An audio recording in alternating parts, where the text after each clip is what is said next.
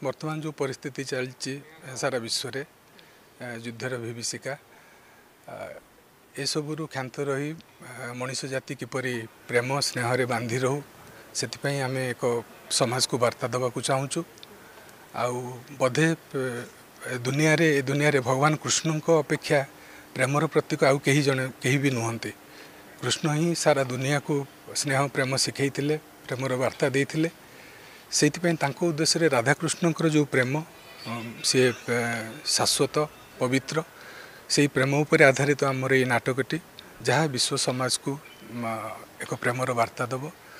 ଆଉ ନାଟକ ପୂର୍ବରୁ ଆମେ ଏକ ଦୀପ ପ୍ରଜ୍ୱଳନ କରୁଛୁ ଭଗବାନଙ୍କ ଉଦ୍ଦେଶ୍ୟରେ ଭଗବାନଙ୍କୁ ଆହ୍ୱାନ କରିବା ପାଇଁ ଯେ ଏ ସାରା ବିଶ୍ୱରେ ଏ ଯୁଦ୍ଧର ବିଭୀଷିକା ଦୂରେଇ ଯାଉ ଏବଂ ପ୍ରେମର ସ୍ନେହ ପ୍ରେମରେ ସମସ୍ତେ ବାନ୍ଧି ହେଇଯାଆନ୍ତୁ